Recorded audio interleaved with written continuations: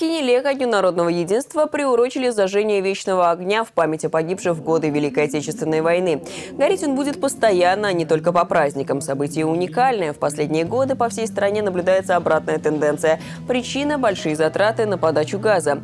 Инициатором зажжения постоянного огня в Кинеле стали местные жители. С учетом проектных работ, приобретения горелки, и выполнения работ, э, работ по благоустройству, это порядка миллион шестьсот у нас ушло на эти работы. Экономики, конечно, нет такой, это прежде всего память о тех наших героев, которые погибли в годы Великой Отечественной войны.